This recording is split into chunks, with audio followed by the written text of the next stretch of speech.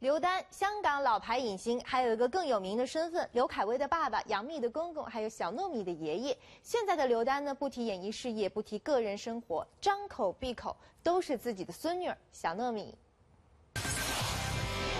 每天早上起来，爷爷，哎呀，这一声爷爷，那个心都给揪出来了。真是可爱，太可爱了。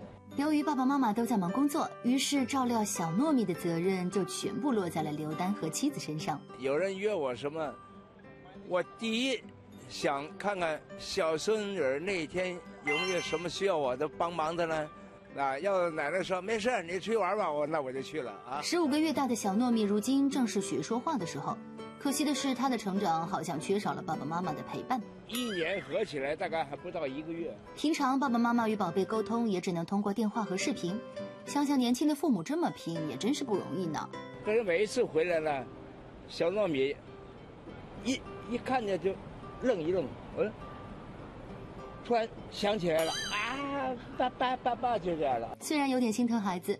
但是刘丹作为娱乐圈中人，也很能理解小两口。当然工作很要紧了，是吧？